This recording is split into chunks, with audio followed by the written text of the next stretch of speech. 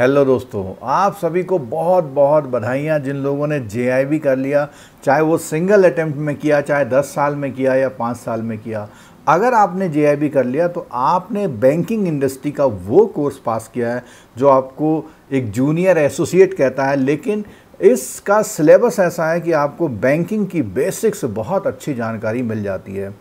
आई के इस कोर्स की तारीफ़ करनी पड़ेगी और उसके एग्जामिनेशन पैटर्न की। यह आपने देख ही लिया होगा कि आपकी नॉलेज को कैसे टेस्ट किया जाता है।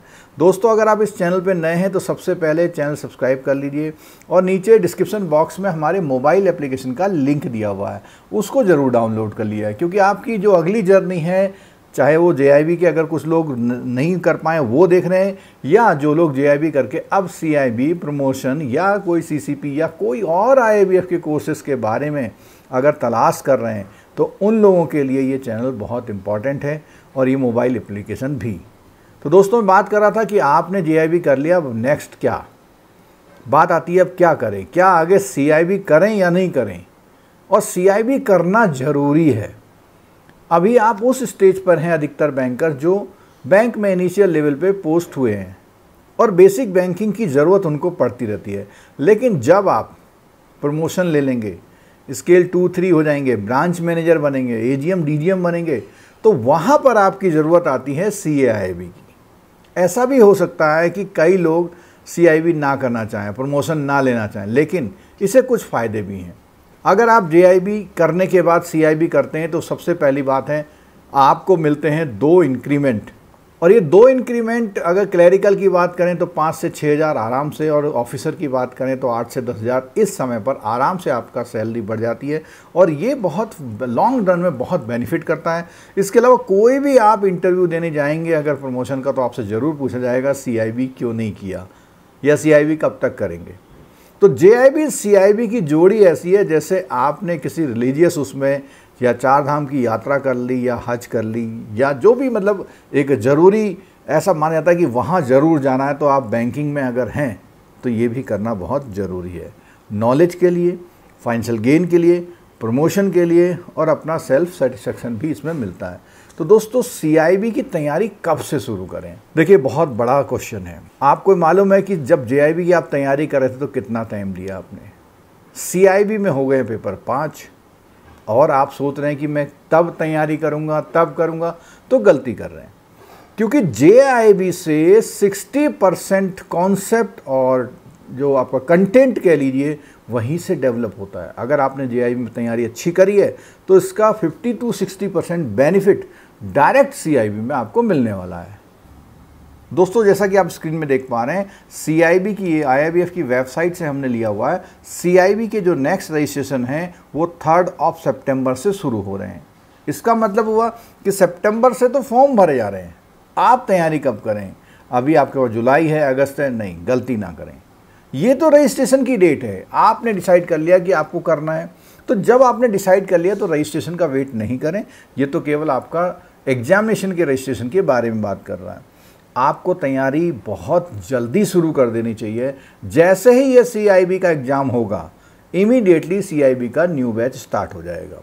जिसके इनरोलमेंट हमने जो हमारे पुराने स्टूडेंट जो पास हो चुके हैं, उन लोगों ने इनरोलमेंट करा भी लिया है। और टाइम से अगर आपने कोर्स में इनरोलमेंट कराया तो आपका एक कमिटमेंट बनता है, आप फ़ीस पे करते हैं, आपको लगता है कि मेरे पैसे बेकार ना चले जाए। और आप स्टार्ट कर लेते हैं अपनी सीआईबी की जर्नी को। अब सी की जर्नी जल्दी क्यों करें? क्योंकि पाँच पेपर हैं। और उसमें से एक या दो पेपर आपके कंटिन्यूस सैटरडे संडे में फंस जाते हैं। पेपरों का जो स्ट्रक्चर है जो सब्जेक्ट हैं, वो जे से कुछ अलग है तो आपको जल्दी तैयारी शुरू कर देनी चाहिए। अब बात करते हैं कौन कौन से इसमें पेपर होते हैं और कौन सा इलेक्टिव लेना ठीक होता है। वो पाँच पेपर कौन कौन से होते हैं, उसके बारे में बात करते हैं दोस्त। जब आप सितंबर में स्टार्टिंग करते हैं इनरोलमेंट की तो हालाँकि लास्ट डेट तो 23 ऑफ़ सितंबर है, लेकिन उसका वेट नहीं करना टाइम से कर लेना, क्योंकि कई बार आपको स्लॉट नहीं मिल पाता। और अगर बात करें पेपरों की तो दोस्तों आप स्क्रीन में देखिए, आपके टोटल फाइव पेपर हैं, जिसमें से जो फोर पेपर हैं, वो आपके सबके कॉमन हैं। फोर पेपर सबके कॉमन हैं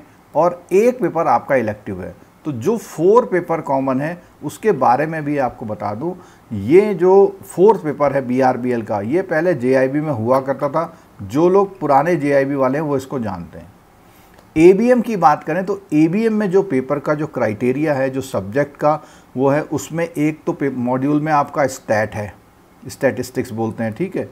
स्टैटिस्टिक्स है। और दूसरे मॉड्यूल में आपका जो है एचआर है।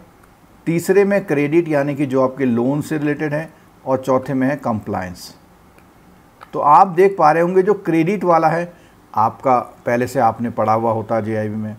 बीएफएम की बात करें तो बीएफएम में फॉरेक्स और बेसेल यानी कि रिस्क मैनेजमेंट और थर्ड आपका आ जाता है ट्रेजरी मैनेजमेंट तो ट्रेजरी मैनेजमेंट में थोड़ा फॉरेक्स में आपने यहाँ JIB में पढ़ लिया होता है। अब बात करते हैं ए बी एफ़ एम की। देखिए ए बी एफ़ एम ये नया इंट्रोड्यूस पेपर है।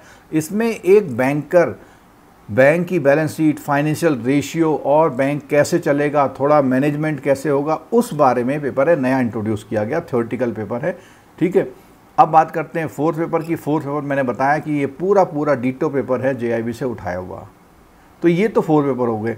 आप यहाँ पर देख पा रहे हैं कि यहाँ पर तो आपको डेट मिल रही हैं, लेकिन फोर्थ और फिफ्थ पेपर के बीच में एक दिन मिल जैसे मैंने पहले बताया था। और इलेक्टिव की बात करें तो पाँच इलेक्टिव है, rural H R M information technology और risk management and central banking. अगर आप अधिकतर सेमी अर्बन ब्रांच में रहे हैं और थोड़ा सा एग्रीकल्चर पता है घर में काम होता था, थोड़ा बहुत जानते हैं और मेरे ख्याल से इंडिया में 70 परसेंट लोग एग्रीकल्चर को पता है कि क्या होती है, ठीक है? उससे रिलेटेड नाबार्ड है, गवर्नमेंट की स्कीम्स हैं तो अगर आप उन चीज़ों को इंटरेस्ट रखते हैं तो ये लेना है आपको। और इसको आज की डेट में काफ़ी इन जो और पेपर्स हैं, उसके कंपैरिजन में क्या है, एक सिंपल पेपर माना जाता है, यानी उनसे इजी पेपर माना जाता है, ठीक है? एचआरएम की बात करें तो जैसा मैंने बताया था आपको कि आपका एबीएम का जो एच का मॉड्यूल है, वो आपको यहाँ पर हेल्प करता है। और अगर आपने एमबीए किया हुआ है ठीक ठाक कॉलेज से जहाँ एचआर पढ़ी है तो वो आपको हेल्पफुल करता है। या आप कंट्रोलिंग ऑफ़िस में एचआर वगैरह में रहते हैं तो भी आपको ये हेल्प करता है। और ये mostly theoretical and conceptual topic है। आईटी की बात करें, अगर आपने बीटेक अगर आपने बीटेक किया हुआ है बी सी एम सी ए किया हुआ है आईटी में इंटरेस्टेड हैं या दो तीन सालों से आईटी डिपार्टमेंट में है आईटी अच्छी लगती है तो उस कंडीशन में आप जो है, ये आईटी वाला पेपर ले सकते हैं। रिस्क मैनेजमेंट की बात करें तो जो हमने बात बताई कि बीएफएम में जो हमारा रिस्क मैनेजमेंट का पार्ट है, वो ऑलमोस्ट 50 से 60 परसेंट सेम है। अगर आप BFM बहुत अच्छी से कर रहे हैं, आपको इंटरेस्ट आ रहा है, उस कंडीशन में और रिस्क मैनेजमेंट अच्छा लगता है तो आप रिस्क मैनेजमेंट ले सकते हैं। अब इसके लिए करना क्या है? कैसे सेलेक्ट करेंगे? आप रिस्क मैनेजमेंट के लेक्चर देख सकते हैं उसका सिलेबस सिलेबस पहले मंगा लीजिए सिलेबस ऑनलाइन अवेलेबल है यहाँ पर तो ऑनलाइन सिलेबस से आप देख के आइडिया लगा लीजिए कि क्या आपको ये करना चाहिए या नहीं करना चाहिए। क्योंकि कई बार क्या है रिस्क मैनेजमेंट हम शौक शौक में लेते हैं और अच्छी तरह पढ़ाई नहीं करते तो वहाँ प्रॉब्लम पैदा हो जाए अब बात करते हैं सेंट्रल बैंकिंग की। सेंट्रल बैंकिंग से मतलब है जो आरबीआई के जो अपना पूरे डायरेक्शंस हैं सेंट्रल बैंकिंग है आरबीआई की स्कीम्स हैं आरबीआई के मास्टर सर्कुलर्स हैं डायरेक्शंस हैं, उन चीज़ों पर डिपेंड करता है सेंट्रल बैंकिंग यानी कि एक आरबीआई कैसे कंट्री में जो है और बैंकों के साथ डील करता है, इस बारे में है।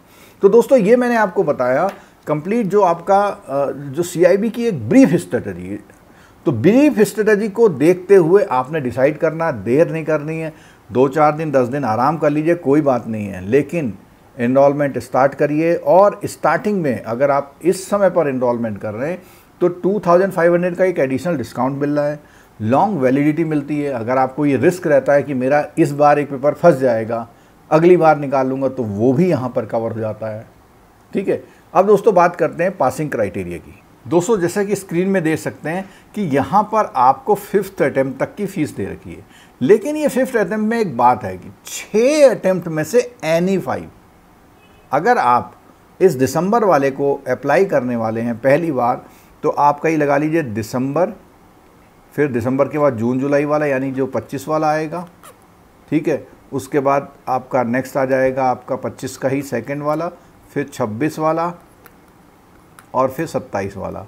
इसका मतलब ये हुआ, जो जून, जुलाई में 27 में एग्ज़ाम है, वहाँ तक के छः एग्ज़ाम में से एनी फाइव एक आप बीच में छोड़ सकते हैं तो काउंट नहीं होगा, पहले काउंट हो जाता था। तो एनी सिक्स में से एनी फाइव मतलब इन सिक्स अटैम्प्ट में से नेक्स्ट सिक्स अटैम्प्ट में से एनी फोर तो आप इन सॉरी एनी फाइव पाँच पाँच अटैम्प्ट पहला अटैम्प्ट में फ़ीस आपकी इतनी जाएगी, पाँच हज़ार रुपये उसके बाद में एवरी अटैम्प्ट जब भी आप अप्लाई करेंगे तो इतनी फ़ीस जाएगी, ठीक है? कुल मिला के आपको छः अटैम्प्ट में से पाँच अटैम्प्ट में ये पेपर क्वालिफाई करना पड़ता है। बात करते हैं एग्रीगेट की। देखिए एग्रीगेट यहाँ भी लागू होगा। यानी कि अगर आपने एक पेपर में सेवेंटी ले लिए और बाकी जो चार पेपर में उसमें आप फोर्टी फाइव भी लाते हैं तो भी आप पास हो जाएँगे एग्रीगेट में। लेकिन ये सारे मार्क्स एक अटैम्प्ट में आने चाहिए। फ़र्स्ट अटैम्प्ट नहीं बोल रहे आपने पहले अटैम्प्ट में एक भी पास नहीं किया, कोई बात नहीं। दूसरे में एक भी पास नहीं किया। जैसे तीसरे में आपने इस क्राइटेरिया में आ गए तो आप पास हैं। और अगर आपने पहले या किसी भी अटैम्प्ट में एक आध पेपर 50 मार्क्स से निकाल लिया तो उनके किसी भी नेक्स्ट अटैम्प्ट में 45 का फ़ायदा नहीं मिलेगा। उस अटैम्प्ट में आपको हर अटैम्प्ट में 50 50 मार्क्स लाने पड़ेंगे। तो दोस्तों, ये मैंने आपको बताया है कि जो अटैम्प्ट और एग्रीगेट और कितने अटैम्प्ट मिलते हैं उसके बारे में। आप सभी ने वीडियो पूरा देखा, बहुत ध्यान से देखा, इसका बेनिफिट आप उठाएँगे, ऐसी मैं उम्मीद करता हूँ। Thank you so much